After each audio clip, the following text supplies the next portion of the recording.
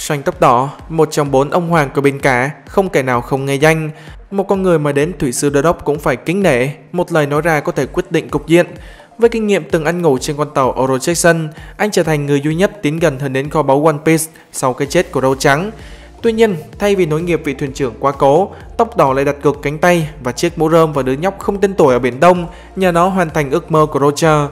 Còn anh tiếp tục lênh đênh, truyền đi hóng hớt nhiều cuộc chiến lớn nhỏ khác nhau. Thậm chí mới đây, không biết bằng cách nào, sanh vào được thánh địa Marichoy, bàn bạc với một thải tặc với ngộ lao tinh, khiến cho người đàn ông này đã bí ẩn, nay càng bí ẩn hơn. Vậy nếu một ngày anh thật sự nghiêm túc với con đường khám phá One Piece thì điều gì sẽ xảy ra? Liệu ngũ lao tinh có còn ngồi xuống ăn minh bánh, uống minh trà với xanh như hiện tại hay không?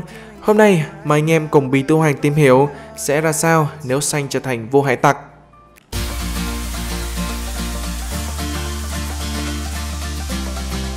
Đầu tiên chúng ta cần phải tìm hiểu hành trình và mục đích mà xanh trở thành hải tặc, thậm chí là tứ hoàng. Sau khi dừng chân trước ngưỡng cửa thiên đường cùng thánh bom bom Bucky, đồng thời nghe tin thuyền trưởng Roger giấy tán băng, giao nộp thân mình cho chính quyền, Xanh đã thừa kế ý chí, tiếp nhận chiếc mũ rơm để lại, thứ mang lại nhiều pha ăn hành cho chủ nhân của nó nhiều nhất lịch sử. Trong khoảng thời gian ra khơi, anh chiêu mộ được nhiều thành viên máu mặt từ nhiều hòn đảo khác nhau, thậm chí không ai biết bằng cách nào, anh còn thường xuyên chiến chú trên anh với kiếm sĩ mạnh nhất thế giới, Mỹ Hạnh. Cho nên một ngày, chiếc mô rơm phát huy nghiệp chướng của nó tại ngôi làng cối say gió khi bị một tên sơn tặc với cái đầu cắt moi có mức truy nã 8 triệu berry dạy cho cách làm cướp. Ngay từ lần đầu xuất hiện, Xanh đã không được bá cho lắm để sống mất tên sơn tặc một cách khá lãnh nhách và phải hy sinh cả cánh tay trái cho con quái vật biển để cứu Luffy. Lúc đó chắc nhiều người nghĩ, xem ra lão này cũng không mạnh lắm, chắc trình độ cũng bình thường mà thôi, vân vân. Nhưng càng về sau, những thông tin được tiết lộ về xanh, dù ít ỏi nhưng cũng đủ khiến chúng ta hết hồn, bàng hoàng, choáng váng về độ khủng bố của vị thuyền trưởng tóc đỏ này. Trở về với đại hải trình, cụ thể là quần đảo Sabody. Tại đây, anh gặp lại đồng đội cũ Rayleigh trước sự ngạc nhiên của vụ bóng tối khi thấy chiếc mũ rơm cùng cánh tay trái biến mất. Tóc đỏ đã kể về đứa bé mà anh gặp ở Biển Đông, đồng thời đặt cược cánh tay vào thế hệ mới. Từ đó, mục đích của xanh khi làm hải tặc không phải nhắm đến kho báu One Piece, trái ngược với câu nói trong chapter 967 của mình. Một ngày nào đó, chúng ta sẽ có tàu của riêng mình và sẽ cùng trở lại đây. Một khoảng thời gian sau, bằng sức mạnh khủng khiếp, xanh leo lên vị trí tứ hoàng, trở thành một trong bốn tên hải tặc mạnh mẽ và khét tiếng nhất. Hiện tại vẫn chưa biết tóc đỏ nhắm đến điều gì khi bản thân anh không dồn tâm trí đến hòn đảo cuối cùng như bao tứ hoàng khác mà truyền đi lang thang, hóng và giải quyết nhiều cuộc chiến lớn nhỏ ảnh hưởng đến cân bằng thế giới mai sau. Điển hình như khi xanh có mặt ngăn chặn Kaido tiến đến tổng bộ hải quân hay ra tay kết thúc trận chiến tượng đỉnh chỉ với một câu nói. Thậm chí gần đây, trong chapter 907, anh xuất hiện tại thánh địa Marichoy, chém gió với ngũ lão tinh về một thái tặc nào đó. Có rất nhiều giả thuyết từ các nhà văn và học cho rằng Mục đích xanh ra khơi có liên quan đến thân thế thực sự của anh. Lý do khiến anh có mặt ngăn chặn các sự kiện lớn xảy ra là vì muốn duy trì sự cân bằng cho thế giới. Một khi cắn cân lệch về một bên thì kế hoạch One Piece mà vua hải tặc Rocha lập ra sẽ thất bại hoàn toàn. Hơn nữa, khi xanh, một tứ hoàng có sức ảnh hưởng lớn xuất hiện tại thánh địa. Ngô Đao Tinh không những không nổi cơn cùng nộ, hóa sư Saiyan sai người vây bắt. Theo vào đó, họ lên mời anh ngồi xuống thảo luận như khách quý.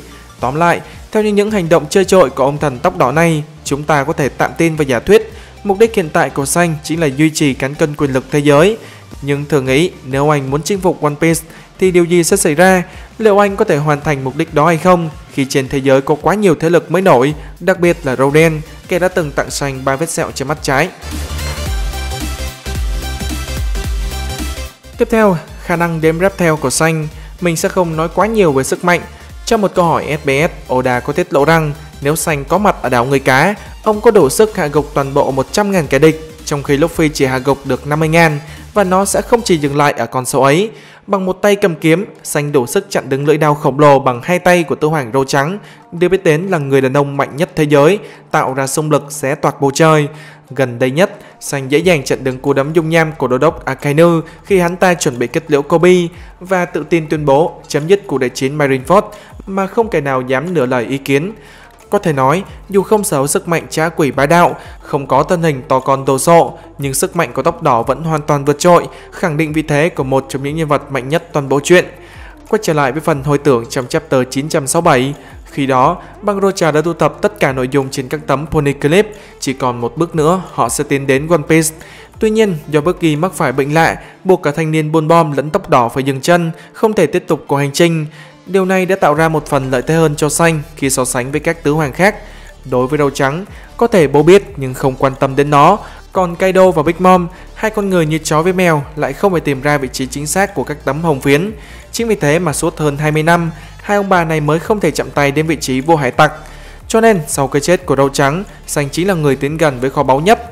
Anh nắm rõ mọi vị trí cụ thể các tấm hồng phiến, thậm chí có khả năng không cần tìm chúng mà dựa vào ký ức từ thời trong băng Roger, Sành ít nhất đã nắm được nửa phần nội dung chỉ đến rap theo.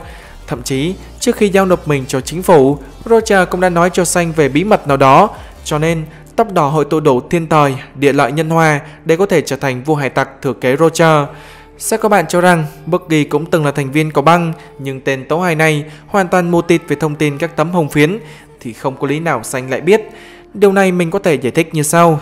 Đối với nội dung họ không biết, nhưng vị trí thì chắc chắn phải biết vì dựa vào sức mạnh của Bucky, Đương nhiên, việc hắn có thể đột nhập, đâm nhau với Tư Hoàng lấy nội dung tấm hồng phiến là điều không thể. Còn Xanh thì ngược lại, anh có đến 50% cơ hội thực hiện điều đó. Như mình đã nói ở trên, không biết làm cách nào, chỉ với một ngày, Sành đã ngăn chặn được Tứ Hoàng Kaido mà không hề mang chút thiệt hại nào. Không chỉ thế, với việc thất vô hải bị giải tán, người bạn thân Mỹ Hạnh chắc chắn cũng sẽ bị chính phủ truy lùng. Cho nên, với lời đề nghị hấp dẫn hơn cả lời thả thính của Crush, nhiều khả năng kiếm sĩ mạnh nhất thế giới sẽ hợp sức với Xanh, đổi lấy sự an toàn trước nhiều pha truy nã gắt gao. Thử nghĩ, một người được đánh giá có sức mạnh ngang bằng với Tứ Hoàng, hợp sức với Xanh thì chẳng cách nào một bằng có đến hai Tứ Hoàng cả. Có khác gì phải liên minh giữa Kaido và Big Mom đâu. Cho nên, nếu tính cả sức mạnh lẫn thông tin mà Sành nắm giữ, anh hoàn toàn có khả năng khám phá ra One Piece. Quay trở lại với Buggy, mặc dù không có cho mình sức mạnh khủng bố như thằng bạn nối khố, tuy nhiên đổi lại, với khả năng chém gió thành bão, Buggy cũng có cho mình đám thuộc hạ nhiều vô số kể. Đối với Mihawk không cần ai bảo vệ, nhưng với Buggy, chắc chắn tên này sẽ tìm chỗ núp trước khi bị hải quân bắt, và băng hải tặc tóc đỏ chính là lựa chọn duy nhất. Cho nên, nếu tính về lực lượng, với sự góp mặt từ đám tâu hài Buggy, chắc chắn bằng tóc đỏ với phương châm, số lượng cộng chất lượng cũng không thua kém gì so với đám thuộc hạ của Kaido và Big Mom.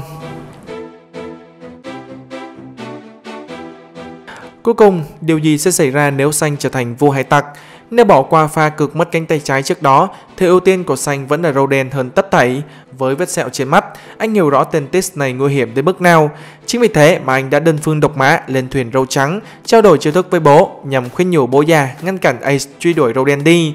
Nhưng đổi lại, vì không nghe theo lời Xanh, bố già đã phải bỏ mạng tại Marineford, đồng thời bị thằng con Tis mất dậy, hack bay cái năng lực trái chấn động. Đúng như lời tóc đỏ dự đoán, hai năm sau đó, Roden bắt buộc công cuộc bành trướng, chiếm lấy các lãnh thổ của bố già, chính thức trở thành tần tứ hoàng.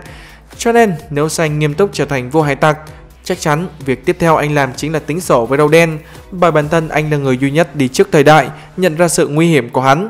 Trong chapter 907, theo nhiều suy đoán, tên hải tặc mà Xanh nhắc đến với Ngô Lão Tinh có thể là lông đen, bởi việc hắn sở hai loại trả quỷ cực mạnh, cho nên chỉ với sức mạnh thể chất cùng Haki, Xanh khó có thể hạ gục được hắn. Hơn nữa, nhiều vào hành động đâm thẳng vào lãnh địa quân cách mạng đã chứng minh hắn có âm mưu bí mật nào đó muốn gây ảnh hưởng đến cán cân quyền lực thế giới. Dù biết rằng nếu nhắm vào quân cách mạng, băng hải tặc Roden sẽ rơi vào thế kìm kẹp giữa hai thế lực. Tuy nhiên Tis vẫn làm, để rồi quân cách mạng không thấy đâu mà còn gặp ngay Cibizaro. Có thể lực lượng và sức mạnh hiện tại của tóc đỏ không thể lật đổ hắn. Tuy nhiên bằng danh tiếng vua hải tặc, Xanh sẽ có cơ hội thống lĩnh các vùng biển, hợp sức với nhiều thế hệ khác nhau, đánh bại tên phản bội này.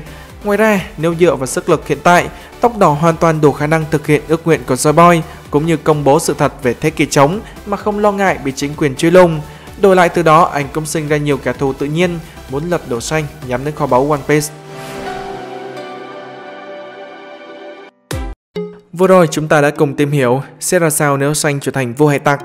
Như mọi khi, bọn tớ rất vui khi được ngồi đếm những cái like, share và đăng ký kênh của các bạn. Cũng đừng quên nhấn vào nút chuông nho nhỏ bên cạnh để không bỏ lỡ bất kỳ video nào chúng mình tung ra trong tương lai. Tớ là Bi, xin chào và hẹn gặp lại anh em trong video tiếp theo.